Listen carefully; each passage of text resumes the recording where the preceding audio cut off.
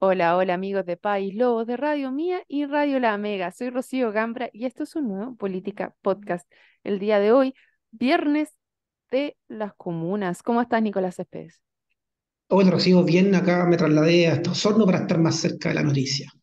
Y aún así no estamos en el mismo lugar, pero sí tenemos una invitada especial que el día de hoy es María José Herrera. Ella es concejala de La Reina. ¿Cómo estás, María José? Hola, ¿cómo están a todos, a todos los auditores y auditoras, a todos los que nos están viendo? Feliz de estar aquí, feliz de contarles las cosas que estamos haciendo aquí desde la capital, pero cómo también en el fondo podemos ayudar a que también se hagan en regiones. Así que feliz de estar acá. Sí, el día de hoy la invitamos porque el otro día una conversación que tuve con el alcalde de Río Negro, Sebastián Cruzat, me quedé con la duda de por qué los alcaldes, los concejales no pueden hacer este levantamiento de las necesidades de las comunas que se repiten a lo largo del país y llevarlas a, la, mm, a las leyes, o sea, llevar y hacer las modificaciones en los tramos más altos, ya sea desde el gobierno o desde el Congreso. Invitamos el día de hoy a María José porque ella hizo esta tarea y la idea es conocer un poquito de qué se trata el proyecto y además si es que se puede replicar o no se puede replicar. El proyecto del que estamos hablando es el de cuidadoras, que fue aprobado la semana pasada en el Senado. Cuéntanos un poquito, María José, de qué se trata el proyecto. Bueno, te cuento. Eh, el lunes eh, se, aprobó, se aprobó por unanimidad un proyecto que ayuda a que las cuidadoras y los cuidadoras, eh, cuidadores puedan demandar de alimentos a sus parientes en beneficio de la persona que están cuidando ya sea persona mayor o con discapacidad. ¿ya? Y este, en el fondo, proyecto viene a dignificar la labor de los cuidadores y de las cuidadoras y viene, por supuesto, a comprometer al resto de la familia a hacerse cargo, ya sea desde el cuidado de las personas o, si no se puede, de, en el fondo poner dinero para que podamos cuidar de mejor manera. Entonces, pensemos que los cuidadores tienen un constante desgaste físico y también de salud mental, ¿ah? y un, por supuesto, un desmedro económico. Entonces, esta, ley viene a ayudar ya, en el fondo, a eh, enderezar la cancha, a emparejar la cancha para que todos los, todos los, los familiares se hagan cargo de este cuidado. Oye, María José, eh, oye, qué, qué, punto más interesante que es común que pase que eh, eh, la hija más cercana, eh, el que vive más cerca de la casa, se termina haciendo cargo de los papás. Generalmente los papás no se quieren ir de su casa y terminan viviendo ya cuando están muy enfermos, muy viejitos con, con la hija mayor, digamos. pero hay otros casos que también guardan relación con enfermedades graves. Nosotros tenemos un caso muy cercano en, en, en Puerto Montt, donde una persona que trabajó conmigo dejó de trabajar porque estaba cuidando a la mamá que tiene Alzheimer, eh, Alzheimer bien avanzado, digamos, eh, y más encima vive en una zona rural.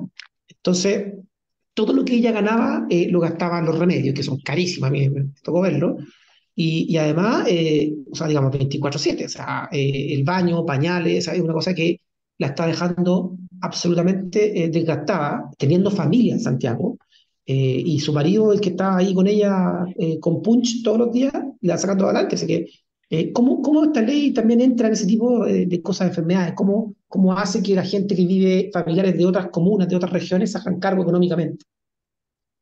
Bueno, me imagino, eh, y esa es la idea también, de que finalmente a través de una mediación, ah, porque esto va a tener que ser a través de una mediación, aquí no se trata de que nos peleemos entre la, entre la familia, sino que busquemos realmente un, un, un camino para ponernos de acuerdo y para que veamos, ok, mira, somos tres hermanos, ¿verdad?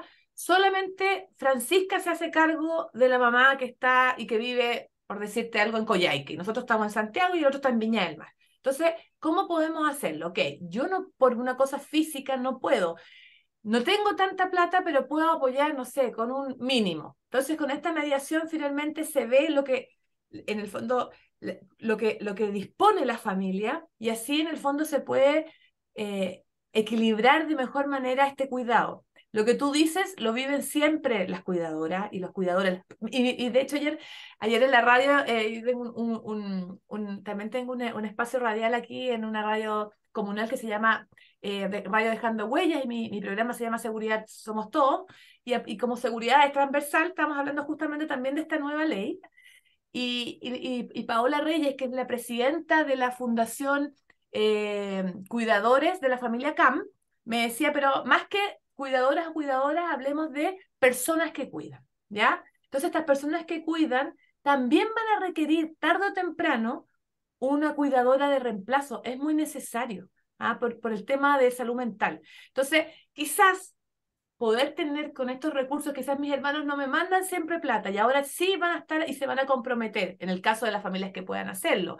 Por supuesto que el gobierno también para las familias que no tienen dinero también tiene otras expectativas, pero esto está más pensado para las familias que ya tienen un poco más de recursos y pueden en el fondo ponerlo a disposición de su papá o de su mamá en este caso. O también, si es que, no sé, pues tenemos un hermano con discapacidad, por ejemplo también tenemos que hacernos cargo como hermanos y como padres de, en, este, en, este, en este asunto, pero porque estamos cuidando a alguien, ¿ah? nos estamos haciendo cargo de alguien. Y eso, como tú mismo decías, desgasta. ¿Ya? Y necesitamos cuidadores de reemplazo, necesitamos también tener de repente por lo menos una o dos horas como cuidadores o como persona que cuida para poder en el fondo volver a sintonizarnos con nosotros, no enfermarnos, que finalmente también eso se ve en cómo yo también trato a esa persona que cuido. Yo tengo que estar totalmente en mis cabales y también súper equilibrada para poder cuidar. Ah, si cuidar no es fácil y cuidar no se, se va aprendiendo, nadie te enseña a ser cuidador. Entonces, si tú, si tú cuentas con estos recursos, es súper complejo. Y adicionalmente, este tema se hizo mucho más visible tras la pandemia. Ah, con la pandemia, en el fondo, uno, uno, se dio cuenta de que había muchas personas que vivían, personas mayores que vivían solo, o que tenían a alguien que las cuidaba o que las iba a llevar al almuerzo de vez en cuando. Se agudizó también algunos casos y las personas empezaron a ser más dependientes. De hecho, el caso, el caso que te estaba contando yo, eh, perdona que te interrumpa, eh, eh, justamente tenían una cuidadora antes de la pandemia. Era una persona que viajaba, iba y se hacía cargo de, de esta señora todo el día mientras ellos trabajaban. Y justamente por la pandemia esa persona dejó de ir y eso fue como, fue bien clave, ¿ah? eh, porque ya perdieron el apoyo de un externo eh, y empezaron a ofrecer dinero para que otra persona fuera y se dieron cuenta que nadie iba a ir por pandemia sin importar la plata que le pagaban. Entonces, efectivamente, asumieron ellos la responsabilidad total eh, y, se agudizó mucho. Y me acuerdo que los últimos dos años fueron los más difíciles de esta situación. Entonces, hay mucha gente que le debe pasar esto y no solamente que le pasa, sino que le pasa en lugares muy extraños. Eh, hay gente que vive en la carretera austral, hay gente que vive camino eh, a la costa de Osorno, por ejemplo, donde no hay internet, no hay transporte público, no hay camino. Entonces, si le llega a pasar algo a esa persona, ¿cómo la sacáis de ahí? La cuidadora también tiene que estar, llevarla a un centro asistencial, acompañarla a otra ciudad, o sea, para que la gente visualice un poco lo que significa, porque no es como que eh, yo estoy sentado en casa y le doy comida. No, es, súper complejo. tiempo. Es muy complejo. Son las 24-7, 24-7. Entonces, cuando tú me pasas, cuando yo me junto acá en la comuna, de repente con algunas cuidadoras, no todos los días podemos, tenemos que estar como, ya, hoy día sí tengo una ventana de media hora, 40 minutos, ahí nos podemos juntar. Entonces tenemos que estar todos, porque ser cuidadora es ser cuidadora siempre. Entonces, ya, ya es una forma de vivir, ¿cachai? Entonces, si es que eres solamente, digamos, no tienes o no puedes contar con un apoyo constante, pero ser cuidadora siempre va a ser, o sea, siempre va a ser el 100%. Entonces aquí ustedes hicieron cargo del problema, encontraron la problemática y lo llevaste hacia un diputado en este minuto que logró poner la ley. ¿Cómo fue ese camino, María José? justamente, tú también en tu pregunta que no la respondí, ahora la respondo, eh, es justamente, o sea, siempre desde el día uno que yo llegué a concejala, también pensé, ok, mi labor como concejal no va a ser solo fiscalizar, ¿verdad? Eso es la labor del concejal, eso es lo que tiene que hacer un concejal, sino que yo también quiero, de acuerdo a todo lo que yo escucho constantemente de los vecinos de, de la reina, en mi caso de esta comuna, cómo voy a poder en el fondo dialogar y llevar esas necesidades del territorio al Congreso. ¿Y por qué? Porque me pasa, y uno lo, ve constantemente, que muchos, eh, eh, muchos diputados, muchos senadores de repente están como, mm, digamos, bastante alejados del territorio, como de la realidad. Entonces, ¿cómo sacamos y cómo, en el fondo, sobrepasamos y mejoramos y, eh, en el fondo, pasamos este paradigma? ¿Cómo lo rompemos? Entonces, finalmente, justamente, llevar esa necesidad al Congreso. Y esto se logró, eh, en general los, parlamentarios siempre tienen una semana distrital. Entonces Pancho siempre se, reparte, Francisco Undurraga, que es la, persona que presentó esta moción eh, del partido eh, Evópoli, eh, él en el fondo, en una de las visitas, yo nos juntamos acá en La Reina, nos juntamos con personas mayores y también con estas cuidadoras. Y le hizo mucho sentido a las necesidades y los requerimientos de estas cuidadoras. Esto te estoy hablando de que esto pasó el año pasado, septiembre, octubre. Y ahí sí empezamos en un trabajo muy silencioso, pero muy constante, y esto de repente dio el, el clic y Francisco dijo, ok, démosle, Natacha, que es una, que es Natacha López, que en el fondo ella está trabajando con constantemente, ella es abogado y trabaja también y ayuda en esto, eh, dijo, ok, vamos, démosle la ley. Y se trabajó, por supuesto, con todo el equipo de Francisco, se trabajó con mi equipo acá, también tengo, tengo un secretario que es, eh, que Santiago Meneses, que me ayuda. Entonces, entre todos empezamos a trabajar mancomunadamente y finalmente se logró. ¿ah?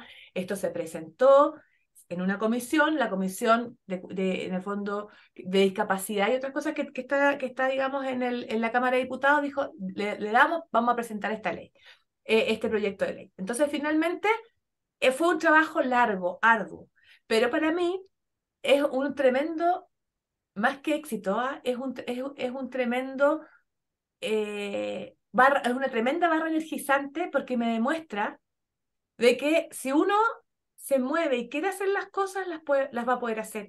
Y que en el fondo tú puedes ser capaz de llevar desde el territorio problemáticas reales al Congreso. Y se puede. Quizá dieron justo las teclas, ¿ah? fueron todo justo, pero creo que es un tremendo ejemplo para eh, los otros concejales de, da lo mismo de, del partido. Si finalmente aquí cuando tú estás en la, en la comuna y a ustedes les pasa también, aquí más allá del partido tú tenéis que buscar soluciones ya para, lo, para, lo, para los vecinos. Y si trabajáis con otros, con otros concejales, mejor todavía, porque más, más en el fondo peso vas a tener en el territorio. Entonces también es, una, es un buen ejercicio que tienen que hacer otros concejales. Se puede. Ah, o yo creo que eso es lo que, con lo que yo me quedo. Se puede, se puede trabajar desde el territorio, se puede en el fondo visualizar las que existen. Eh, eh, algunas cosas que en el fondo falta organizar a través de leyes, ¿cachai? Se puede. Entonces, eso es como que a, a, mí por lo menos me deja tranquila en el sentido de que desde aquí, desde aquí, desde un barrio común y cualquiera, como para cualquier parte de Chile, alguien tocó la puerta, se comunicó con un diputado y se hizo las cosas. Entonces, yo creo que ese ejemplo es el que eh, vengo a, a contarles hoy y que me hace sentir también muy orgullosa pero ese eh, no, no dependió de mí, sino que también es un trabajo de todos. Yo creo que eso también es otra, otra, otra gran enseñanza. Aquí no se puede venir en política, así lo veo yo por lo menos, no se puede trabajar solo. Ah, yo no vengo aquí a que todo el mundo me conozca como María José Herrera. Yo vengo aquí a que, a que en el fondo me, me, no me conozcan, sino que ese, ese, ese, esa fuerza que tengo yo se pueda sumar a otros y trabajemos todos juntos. Yo creo que esa es la buena política. La buena política es cuando uno puede trabajar con otros y pueda encontrar soluciones. O sea, es interesante lo que señala María José porque estamos muy acostumbrados a que cada uno se encapsula y trata de buscarla como su minuto de fama diciendo lo malo que está tal o cual cosa. Muchos de los concejales, de los cores, de los alcaldes van solamente a reclamar. Tú aquí avanzaste con una solución también y fuiste más allá de lo que se suponía que tenías que hacer, porque tú dices, el, trabajo del concejal es identificar la programática, más que identificarla, sino fiscalizar. Pero aquí tú tuviste una conciencia más allá y quisiste seguir avanzando. Y es un poco, yo creo, lo que le falta a la política hoy en día, que es esta voluntad de resolver los problemas, de trabajar en conjunto, más que solamente ir a decir, ¿sabes qué? Aquí hay un problema, y que a las cosas y voy a gritar más fuerte para que me vengan a pescar, sino tratar de ir lo, lo, lo, había, lo, había, dicho María José antes, que era la escucha activa. Esa, esa, eso es clave, la escucha activa, porque el, el, hay, hay, mucho que pasa. Mira, tú decías, por ejemplo, que el concejal está para fiscalizar administrativamente. Eh, en muchos lugares de Chile, eh, no, no donde estás tú particularmente, pero eh, cuando se va un alcalde y llega otro, pues que nos encontramos con un desfalco, con miles de millones que faltan. Entonces, como que, como que esa función del, del, del concejal está como media perdida, porque justamente funciona como dice Rocío, o sea, hoy no, aquí esto, y reclamo, reclamo, reclamo, eh, en vez de hacer lo contrario, en vez de ordenarse, armarse, hacer su equipo, juntarse con parlamentarios, juntarse con otro, otras regiones, con otras comunas, ver problemáticas en común, eh, y sacar el, el, este sistema social que tenemos hoy día de, la, de, las redes sociales que nos encapsulan, si hay alguien que no me gusta lo bloqueo y me quedo con solamente los que piensan como yo. Entonces, esa escucha activa que tú aplicaste en este caso, eh, que además se dieron las teclas con un diputado que tenía la sensibilidad del tema, eh, es muy importante, o sea, decirle a la gente que cuando voten por alguien, acuérdense de este programa, porque hay personas que sí pueden hacer la diferencia en la forma en que trabajan.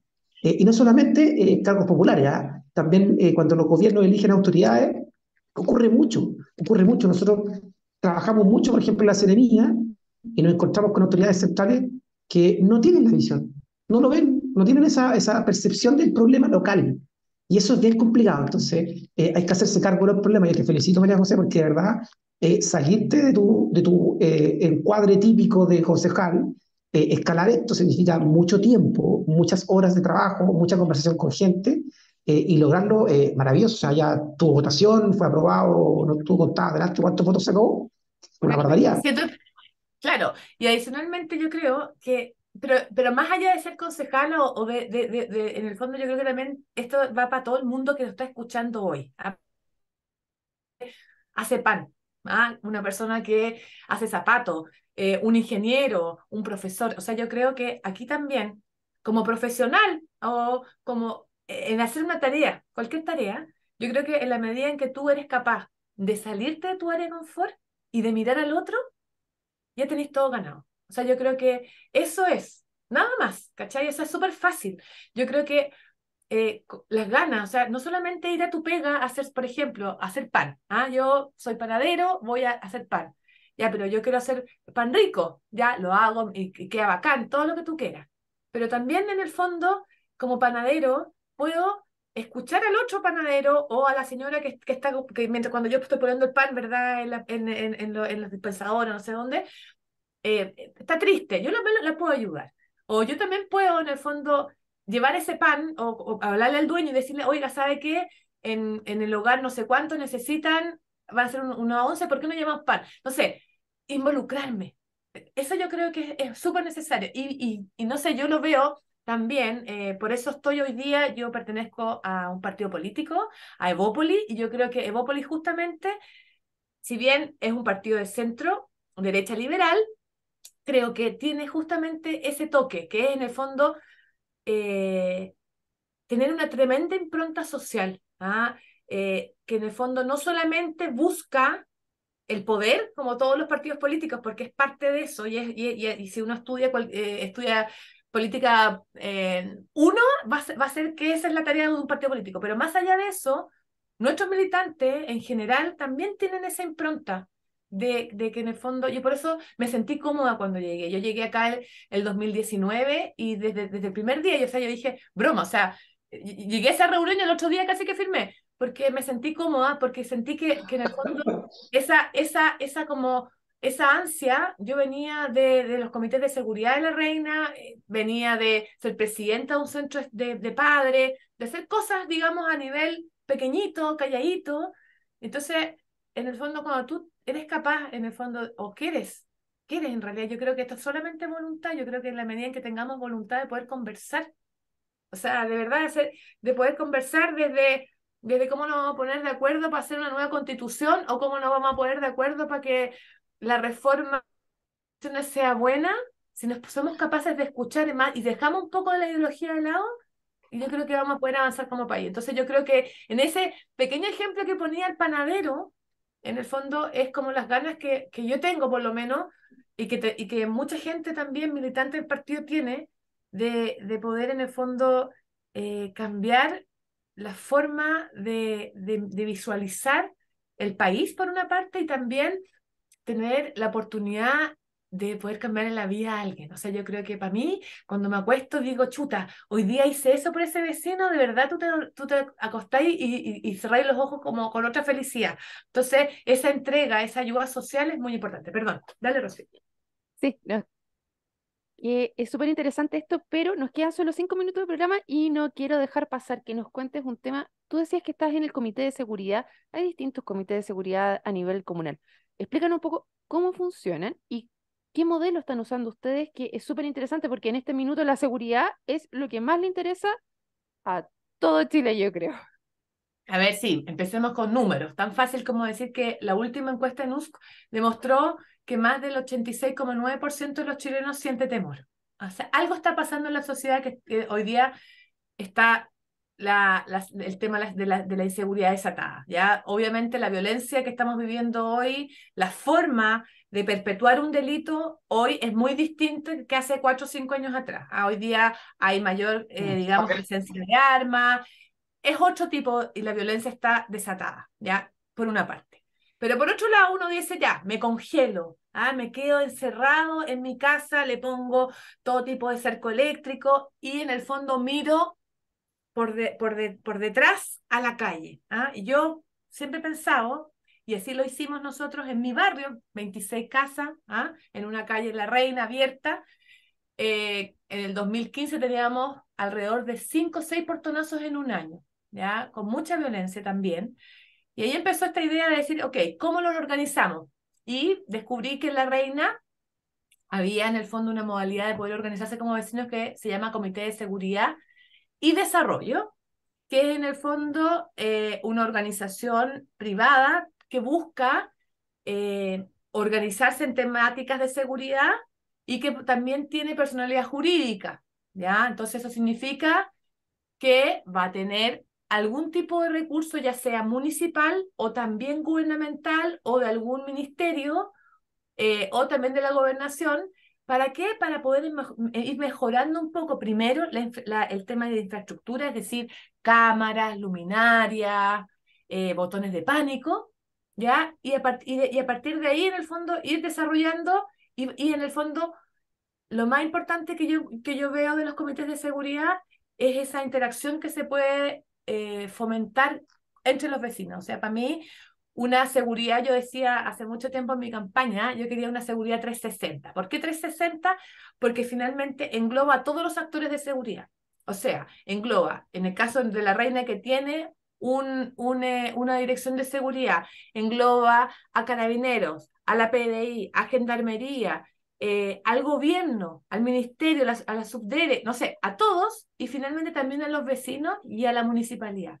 Entonces, en la medida en que nosotros trabajemos juntos, lo mismo que cuando les contaba lo del panadero, de que uno quiera trabajar y hacer cosas entre todos, se puede. Y por otro lado, esa inseguridad que yo les decía en un minuto que alcanza, un 86,9%, va a disminuir en la medida en que yo también me sienta seguro en mi lugar.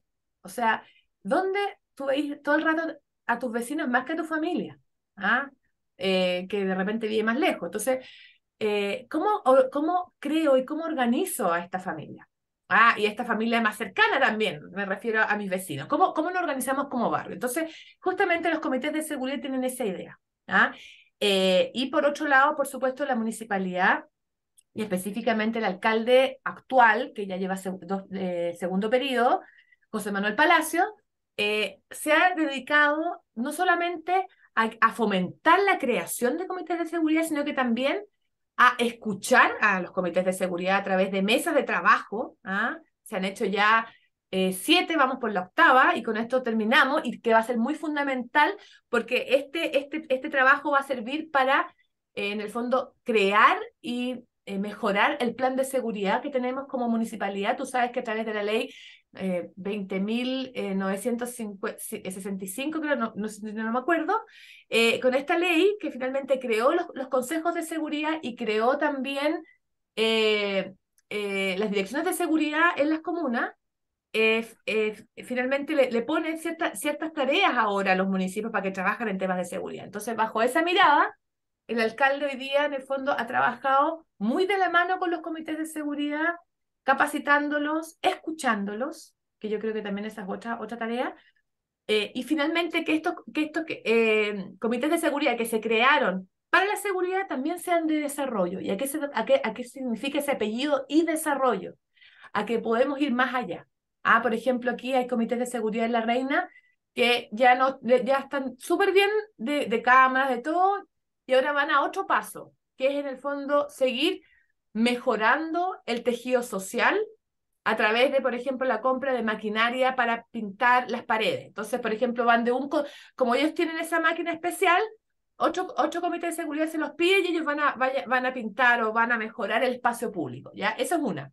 Y lo otro también es que ahora queremos, es que en el fondo, esto que ha resultado también en el reino, hoy día son más de 400 comités de seguridad, poder y que han resultado y que han sido eficientes para, para sentirse más seguros y también para poder trabajar colaborativamente con carabineros en temas de seguridad, cómo lo puedo trasladar y presentar a otras comunidades, a otras municipalidades, desde, desde el norte hasta el sur. Entonces, ¿por qué? Porque el tema de la seguridad hoy día no solamente está en Santiago, el tema de seguridad también ha traspasado, ¿verdad?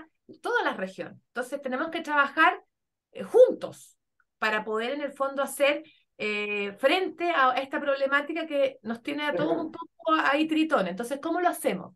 ¿Y para qué eh, inventar la rueda si ya existe esto? Entonces, esta, esta modalidad, esta, esta buena forma de organizar a la comunidad, a los vecinos, eh, quizás también pueda ser en el fondo eh, prestada o copiada o no sé, o tomada por otras municipalidades para que así entre todos mejorar la, la, seguridad. Claro, los comités de seguridad y adelanto también se llaman en algunas partes, son formas de personalidad jurídica que pueden acceder a distintos a distintos proyectos, ya sea a nivel de municipal y distintos fondos municipales, regionales, porque tienen esa personalidad jurídica y van con este tema de seguridad, tanto luminaria, cámaras, etcétera, pero va como organizaciones, cómo organizamos a los vecinos para que empiecen a hacerse cargo y a empoderarse un poco de temas de seguridad y después de desarrollo. Lamentablemente se nos acabó el programa. Así que eh, una cosita, el gobierno regional de, los lagos tiene un 2% del fondo del FNR para postulaciones de, de, estas cosas, así que para que sepan también ahí los comités de seguridad los vecinos que pueden postular justamente a cámara y cosas así. Y acordarse, acuérdense del terremoto del 27F. Hay gente que recién en el terremoto conoció a su vecino, Así que el modelo de tejido social es lo más importante para sentirse seguro. Si van a salir de vacaciones, avisen al vecino que le cuiden el perro, que le recoja la carta que queda afuera. Esas son cosas súper importantes que, para que uno como comunidad pueda seguir avanzando en un lugar más seguro. Oye, sí, súper interesante se nos acabó el tiempo. Lo único, si tiene grupos de WhatsApp, no diga que va a salir de su casa porque no sabe tampoco, porque es típico los WhatsApp de los vecinos que uno pone ahí, pero no sabes quién más te puede estar leyendo. Esa fue una recomendación que nos dio Carabineros a nuestro grupo de Comité de Adelanto de los Vecinos. Así que ya, chiquillos, María José, muchas gracias. Nicolás. Muchas gracias por la invitación. Nos vemos en un próximo Política Podcast y a todos los que se sumaron también. Muchas gracias. Nos vemos. Chao, chao. Estén bien. Chao, chao.